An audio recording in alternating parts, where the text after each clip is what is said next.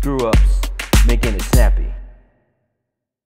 Welcome everyone to the Screw Up Snappy. You're on with Don, and Mon. and we make our own opportunities in the span of timed minutes. So um, we have a guest with us today. If you'd like to introduce yourself. Hey guys, my name is Geia Mendoza. I'm 23 years old from Davao City. I'm a content creator slash businesswoman. So yeah, Alright. nice to meet you. Nice to meet you too. Thank you for saying yes to us this early in the day. No problem. Yeah, Good love morning. the background also. Yeah, I wish we could have nature backgrounds too. garden. I mean, I could in my balcony, but that's kind of dangerous, no? If I You want to if go I just sit out there in the balcony, I'm pretty. I'm on a pretty high up floor. So how this is gonna work is, so we're gonna have a timed ten minute. We decided to make it ten minute um interview slash the kwentuhan sesh. No need to be tense. Everyone can just talk about whatever they want. You know, let's see hmm. where the conversation will go. This is really just more to show that you know people's social skills haven't died just because you know COVID happened and we're all limited to interactions like this, right? We still still make your own opportunities to meet people and to make new friends and to just have people share about what they love doing. Yeah, so okay, I'm gonna start the timer. I almost opened my calculator again. That happened once. I accidentally opened my calculator and I was looking for the timer. Okay, so zero seconds. Okay. Ready? And Ready. go. Go. Okay. So how you said you've been roller you've been roller skating for two years long. Yes, I've been roller skating since December 2020. What that's Mm. barely like that's that's just a little more than one year then. Yeah, I started during the pandemic because I it started when I watched videos on TikTok, like people roller skating in the States. And then I said I wanted to try this. And then there was a local shop here in Davao, I mean in the Philippines, that was get, selling skates. So I bought skates for myself and I practiced at home. So that's how it Nice. You're self-taught? Yeah. I watched No way. What? Dude, swear. everything talaga you can do. yeah, you can online, do at diba? home. Mm-hmm. Hmm Like YouTube. YouTube, going to find Yeah. tutorials and all that. So it's pretty fun. I don't remember the last time I skated. Maybe when I was a kid, you know, one of those shoes with the Yeah, did you have those those cool kid shoes, the one that Yeah. they like kind of yeah, slide out of the during like family Mhm. gatherings? Dude. Yeah. Yeah, that's the last time probably. The heck, you had those pala also. yeah, man. Oh. I, I didn't I didn't have those. I wasn't a cool childhood. kid then. Childhood. hmm So like why did you like since you mentioned TikTok now, why did you like start posting on TikTok or even like just getting on the platform itself and you know sharing your Um, videos Everyone was on TikTok during 2020, right? Diba? That's true. yeah During Mm. pandemic. So I was curious and then I just started posting my progress. If you check my TikTok, it was all about skating, like starting how to balance. It started from the Mm. very start. I just wanted to check my progress and then one video blew up of me dancing to just the two of us. So yeah. while on roller skates or just Yeah. plain dancing. Oh damn. Okay. Yeah, see, that's why I, I don't believe that it's only been two years because it takes a lot to like have that confidence. Now you can film videos while you're skating. Like I, I would probably Yeah. fall on my ass.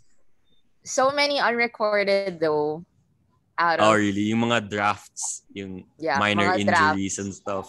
yeah like Hmm. one video it takes about 15 drafts so Oh wow, Mhm. 15? yeah you just choose the best one that's Oh. how it works That's pretty interesting. And you are one of the, I think, the only person from the Philippines, I think, who I've seen post like skating content. Like, there are a lot actually in manila i went to manila last week and i visited friends that i met from tiktok Oh nice. oh, Like, like never, you never met them in person. They were just like, never met them yeah i just asked this girl named polly she's from manila she's also a roller skater you Mhm. should check her out Rolly Polly Oh, I love that. I asked Damn, that's pretty cool. skate. Yeah, and then we skated at Circulo Verde Mhm. mm, in how was it naman? It was so nice. It was fun to meet like other skaters. She brought her Yeah. friend. oo. So I'm not know, the that's the only one here in the Philippines. I'm the only yeah, contact lang Oo. sa Davao, but in Manila there's a lot. There's like a whole community. It's called Everywhere We Skate. Exactly. Oh, that's what I love about yung going online, di ba, and posting your kind of content. And then True. eventually you discover a community of people Yeah, doing the same thing as you. And then you meet up with them, di ba? And you meet new friends who share the same thing that you like doing. And ayun, di ba? You have a Power of the internet. Mhm, exactly. Oh, so di true. That's so Damn, fun. that's pretty Uh, cool. just- I imagine you guys like roller skating lang, like in like an open space and whatnot, having fun. Yeah, we were like creating content for TikToks and they taught me Mm. some tricks. It was very fun and interesting. It's actually on my TikTok also. I made a video about it. Mini vlog.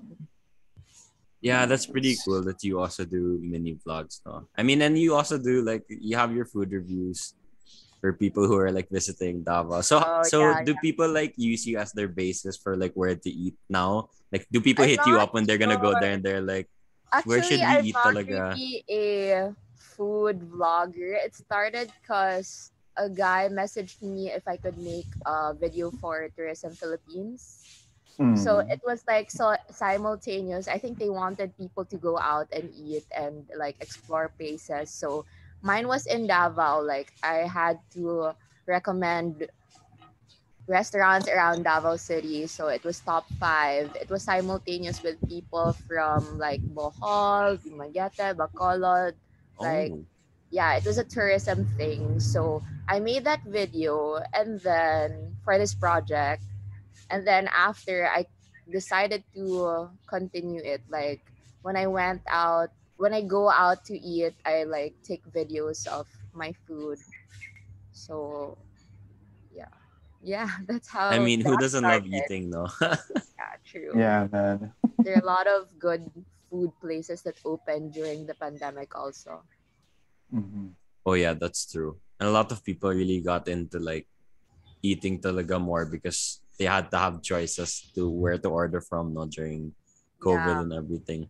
So people really got in touch with like, you know, their standards for food change. They're open to trying pretty much anything. Because like why not? Diba? You're already living through a pandemic. Yeah. yeah. And a lot of food businesses also they started. And uh, Yeah. Yeah. well, speaking of business, since you mentioned also in the intro na you're a businesswoman, nga, so can you tell us something about your business? So um, I graduated uh, with a degree of mass communication, minor in psychology, Mhm. but I Oh, decided nice. to open up a business also during the pandemic. Mm-hmm. So before, during the start of the pandemic, I started Pothos plots, pots, Pothos plants, rather. I used to Mhm. sell like pots and plants, and then it went to Pothos Vintage. I sold like um ceramics and decor. And That's then so I cool. changed to Glow Home. So I opened up a bunch of uh, businesses during the pandemic. Glow Home was like we sold mirrors, and Okay. then now what I'm doing is so I stopped all of those already, and Mhm. then now I'm doing picnics Davao. So we have a farm in Tacunan, and Oh. then I host picnics. So basically, Wow. at our farm, like I arrange picnics for people that want to date or go out with their friends in nature. So you can check it out at Picnics Davao. So yeah. Taraton, let's go to Wow, good for you. That sounds so awesome. Actually, that sounds like such a cool idea. Actually. Yeah, Like, so you an just organized go picnic. there and you can bring your food and enjoy nature because it's surrounded with um mango trees. The place Oh, it's like very man. fresh, bukid feels. Bukid Yes, I Shit, love it. that And Oh. I manage our resort in Samal. It's called Hayahay Beach Resort. So you guys should check that out also. When you're in Mhm. Davao, you can go to Samal. It's just like a 15 barge right away to the beach. Okay. Um, that sounds like such a promising vacation. Tramon, let's go. Yeah. Come nga, on. Let's leave the city, Davao. honestly. Don't Like, shut down. let's go for like a week. That's all our content. We can vlog that whole thing. and ano, beach. Tara. Oh. Uh, I want the beach. That's the number one I've been looking for since COVID started. Kaya nga eh. I haven't yet. I haven't gone yet. I haven't also. Yo, I haven't been to the beach since like 2014. Oh my god. Yeah. I'm feels like deprived of sun. Oh no. Mhm. Okay, so we have this really fun um kind of last question type thing. So we made a list of questions from 1 to 30 and we assigned a random question for each. So pick a number between 1 to 30. Seven. Seven. Okay. What's number what's seven? Okay, if you could trade lives with one person for a day, who would it be? Oh my gosh. Wait, whose life? Ah, I want to trade lives with Bretman Rock. You guys Oh, know okay. Bretman Rock. Bretman Rock. He's just like skating in Hawaii. And the Yeah. view is so nice, like going around with his dogs and driving Mhm. around Hawaii. It's just a chill island life. So I wanna try for a day. So if you could move to Hawaii, would you? Um, A lot of people skate there, I know that. That's really like a move to Hawaii. I would probably consider it, but I feel like Davao is like home. I can visit like Hmm. places, but I would go back to Davao. All right, right Maybe on. just a vacation, a two month vacation. yeah, maybe two, three months, and then after that, yeah. go back. All right, that's ten minutes. See, see how fast Oh, it wow. goes by. Yo, I love that. Ay, Sobrang Nice. bilis pala. Yeah, we don't Mhm. realize the the importance of you know how much time really matters no, until you're in the middle of the convo. Like we've had plans for episodes that we thought were gonna go for mga 30 minutes, and then when we're done, it's an hour and a half. Na, and we're Yeah, like, what? yeah, No yeah. way. Sarap So, mag-usap. Yeah, it's crazy how much time goes by. No, but the purpose of why we we make it so short also is, you know, we want to give people the potential to, you know, if they're down to come back for any future content and all of that. So you're always welcome back. You know, if you want to be part of any much. any podcast in the future, yeah. Um, is there anything you want to plug before we we end this?